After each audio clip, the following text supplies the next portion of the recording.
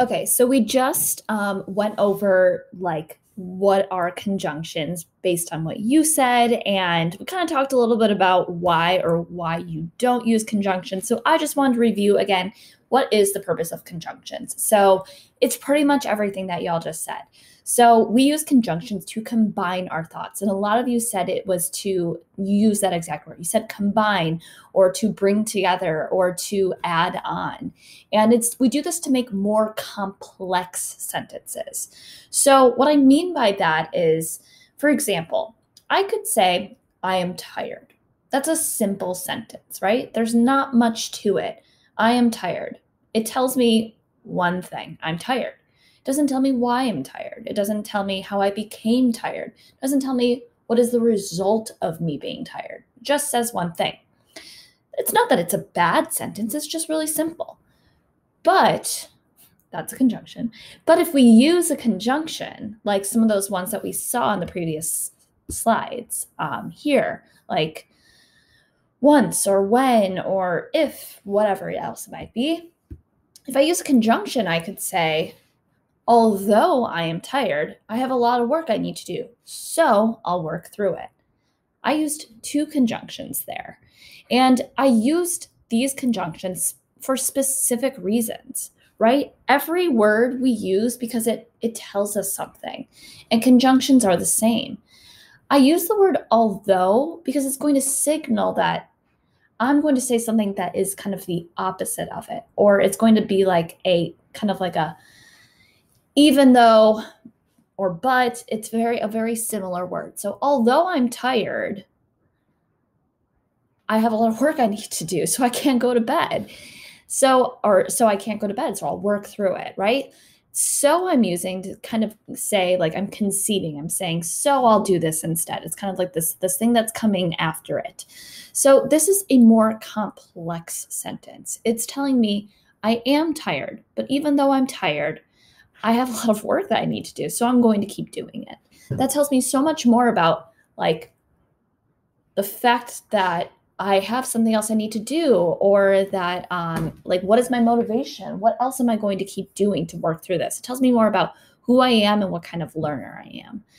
Um, so, what we're going to do is we're going to practice using some cause and effect and then conceding and conditional conjunctions. And I'll explain what that means in a second. Um, but we're going to do the first one. I'm going to show you how I would do it. And then we're going to do the second one together, actually.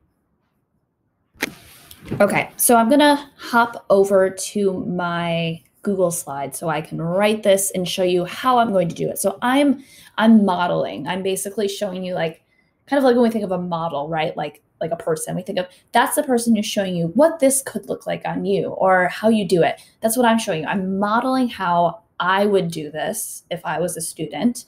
And I'm also going to talk through what I'm thinking as I'm doing it. I know it might seem kind of weird, but it's good to to verbalize or to say out loud or even in your head kind of the process that you're thinking of so it becomes more clear. So the next time you do it you're like oh yeah that's right i did this. So i'm going to hop over here. So we're doing this first without thinking about what we've just learned nothing related to the haitian revolution. So we're going to just do it based on something that's totally unrelated so a conjunction that I have here. So right now we're we're not practicing using conjunctions on our own. We're practicing thinking about what these conjunctions mean. So we're going to start with cause and effect conjunctions. And um, can somebody in the chat tell me what what do I mean by cause and effect?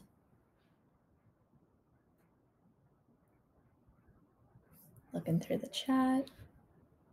Yeah, so something that happens first and then what is the result of that? Amazing. Absolutely.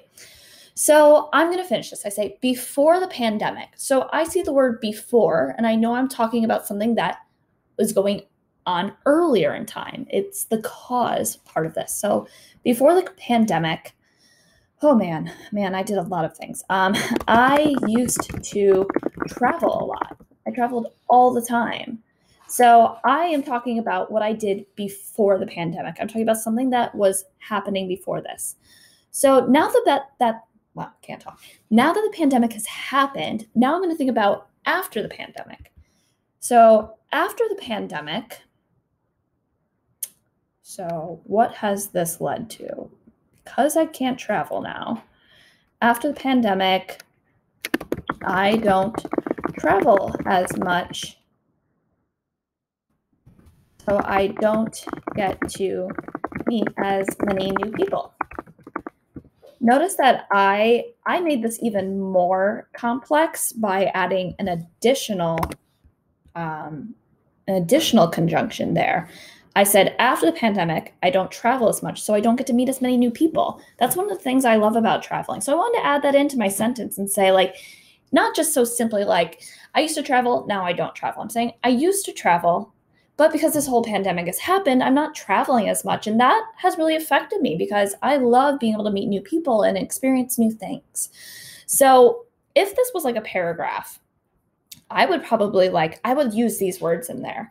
And I'd maybe be starting it by saying, like, COVID happened in 2020 and it became a global pandemic and the world began to shut down. Um, my life has changed a lot during the pandemic. So maybe I'm going to write a cause and effect like paragraph. Say before the pandemic, I used to travel a lot, and I maybe talk about the places I used to travel and the things I used to love about traveling. Then I would explain, like, but the pandemic happened, and these are some of the ways it's affected me. I don't get to travel as much, so I don't get to meet as many new, many new people. And I could talk about why that that affects me and why that makes me so sad. So now what we're going to do is we're going to do this one together. So I am going to ask y'all to help me. So it says, even though the pandemic has been difficult. Okay, so we already we used although earlier, and even though is similar. So does anybody want to either unmute themselves or in the chat say what would you write to finish the sentence? And I'll be looking and waiting if anybody wants to speak.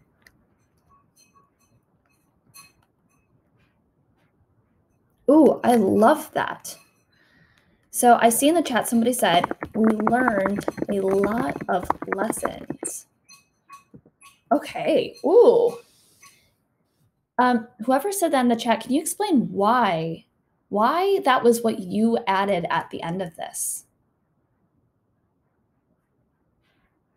I know it takes a little bit of time to write, so I'll give you that give you that time. Oh my god, can you guys hear my dogs in the background? Scratching at their food bowl. Yes. Okay. So I'm seeing in the chat, you're saying that I use this because it says that even though this has been bad, there have been some good parts to it. So that is exactly right. And if I was verbalizing this, I would say, like, I used even though here to show something different. I'm kind of con- I'm conceding. I'm saying that there's something on the opposite side of this. Even though usually you're going to say something opposite, like again, even though I'm hungry, I can wait. Like, you know? So, absolutely. So, even though the pandemic has been difficult, we learned a lot of lessons. Love that.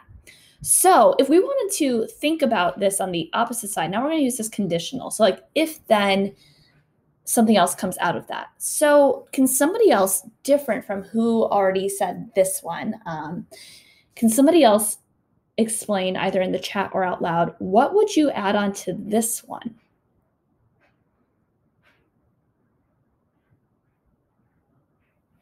Yes. Oh my God, that's amazing. We may not have learned those lessons. That is so accurate. Oh my gosh, I love that. So, why did you use that statement there when using this conjunction, if?